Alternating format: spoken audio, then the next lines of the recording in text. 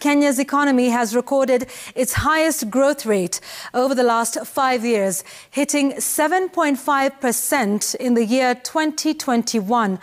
That's according to the Kenya National Bureau of Statistics. The Economic Survey of 2022 details progress made by different sectors, with only the agricultural sector reporting a contraction. The growth comes after the economy contracted in the year 2020 following the COVID-19 pandemic that forced majority of sectors to scale down. Sam Gituku starts off our bulletin tonight. The Economic Survey 2022 by the Kenya National Bureau of Statistics shows that the Kenyan economy expanded by 7.5% in the year 2021, a rate last reported close to 15 years ago. This a recovery from the 2020 numbers when the economy contracted by 0.3%. Kenya compares favorably to her neighbors, with Uganda coming closest with a 4.7% growth in gross domestic product. The economy remains heavily dependent on agriculture, which accounts for 22.4% of GDP. Industries collectively account for 22.4%, while the economy is still heavily driven by the services sector at 52.4%. These are services in the transport, real estate, wholesale, retail trade, and repairs businesses.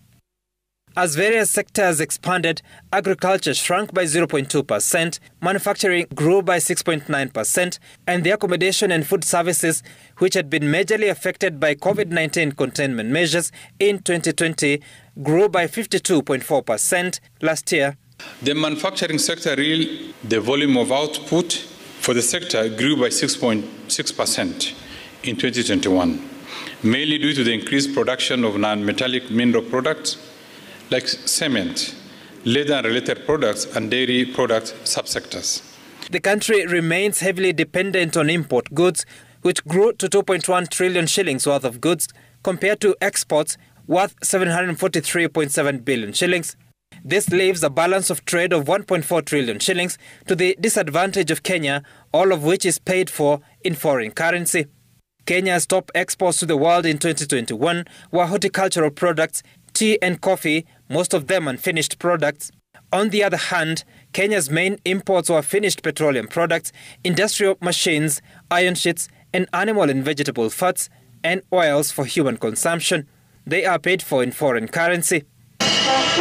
The transport sector recorded remarkable improvement, with air transport recording 6.6 million passengers against 4.5 million in 2020. Domestic air travelers stood at 3.8 million against international passengers at 2.7 million.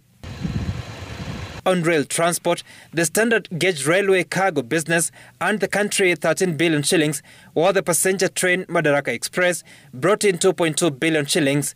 In total, SGR, which turns five years later this month, earned the country 15.2 billion shillings. In the same period, the old railway line earned Kenya 234 billion shillings in revenue. And as the country and the world contend with the global increase in commodity prices, similar trends were registered in 2021 when the inflation rate rose to 6.1%, the highest since 2018. At the moment, the inflation rate stands at 6.5%. All these other sectors of the economy are expected to continue on a growth trajectory after successful containment of the COVID 19 pandemic and the projected peaceful general election, given the country's mature democracy.